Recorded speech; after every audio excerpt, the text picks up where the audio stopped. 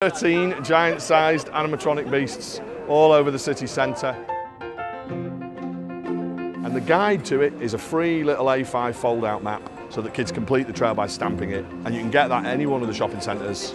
Or you can visit the Leeds Jurassic store, which is in Trinity.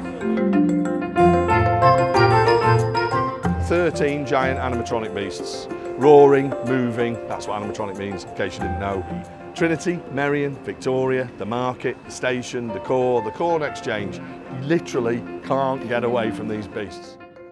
Just bringing a bit of child friendliness basically all across the city. We worked with children and young people and it was one of their top ideas. They want to see dinosaurs.